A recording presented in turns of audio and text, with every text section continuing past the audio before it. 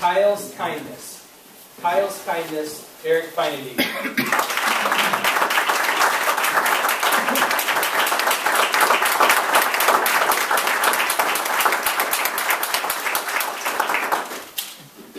There are over 7 billion souls that breathe life on this planet. And each one of us, as we enter the world, are given a label, boy or girl. When we start school, we're even further defined. Slow learner, average, gifted. As an adult, it gets even worse. We are judged by just about everything, from the clothes that we wear, to the car that we drive, to the house that we live in. Pretty soon, we are so covered with labels, we're like a singer whose song has been silenced, and nobody knows who we really are. Master Toastmaster, fellow Toastmasters, and honored guests. The question I want you to consider this afternoon, and the one I fully intend on answering, is what happens when we're mislabeled? It was a week before Thanksgiving 2013. I was chaperoning my six-year-old daughter Rachel to a friend's birthday party being held at the local entertainment center. The building was filled with the sounds of dingin', cha-chingin', and birthday singing. Despite all the bleeps, bloops, and the bright lights, however, our attention was diverted in the direction of a boy, about eight or nine years old, who went by the name Kyle. He had his cap turned back, sleeves pushed up, and a fierce determination in his eye. He was playing the, oh, so addicting, claw game. Here's how it works. You put in a dollar bill, out comes the metal claw, and you also delicately drop it on a little pile of goodies in the hopes of winning a prize. Now, it may seem innocent, but then again, so does trying to eat just one Oreo. You've been warned. As we watch Kyle fail, unfortunately, time and time again, to win his prize of choice, a fuzzy pair of dice, we noticed that he began to pace back and forth, sizing up the dice, much like Steve Servy's lion would size up his prey.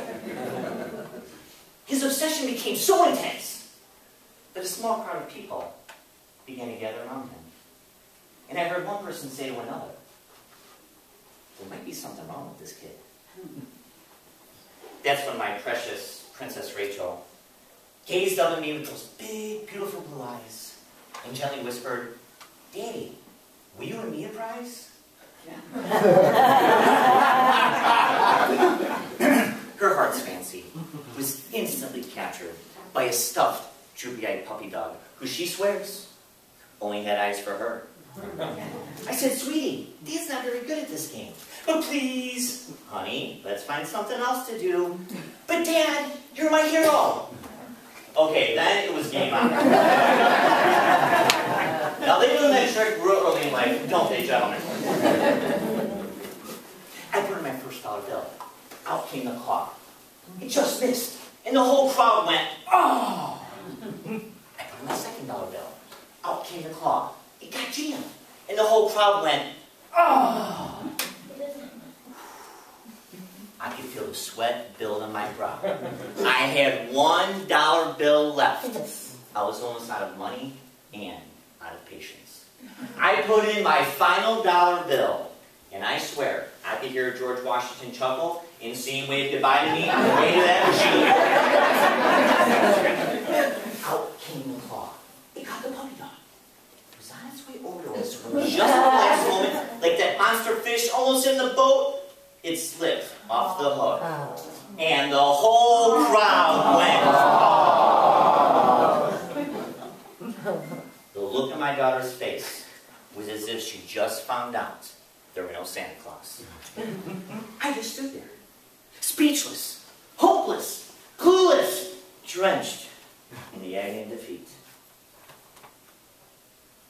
As crowd began to disperse, we notice Kyle still standing there, just staring at us, analyzing us much like a doctor would a patient.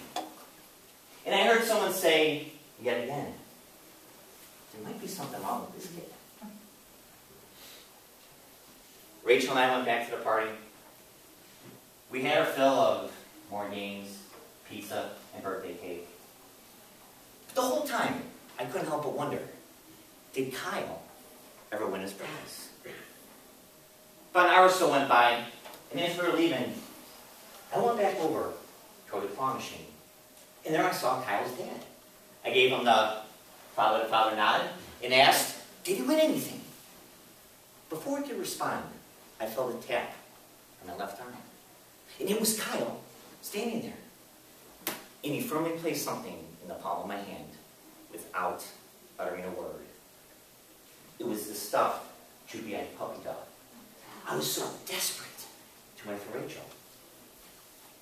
Then his father said, Kyle has autism. He doesn't say much, but he's watching. He saw how much your daughter wanted that puppy. So he gave up his quest for the dice to win that for her. Now shake the man's hand, Kyle. As I put out my hand to shake his, I gave the puppy to Rachel. She, in turn, gave Kyle a hug. And then I got one too.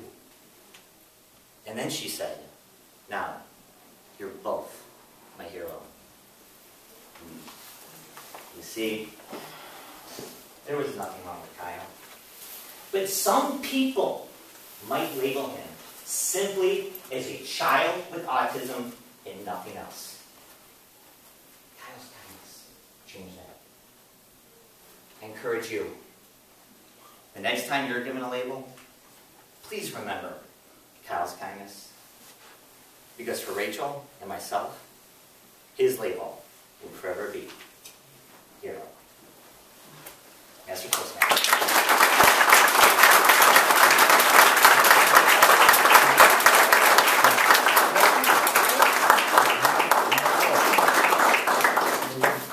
our judges one minute to work on their ballots.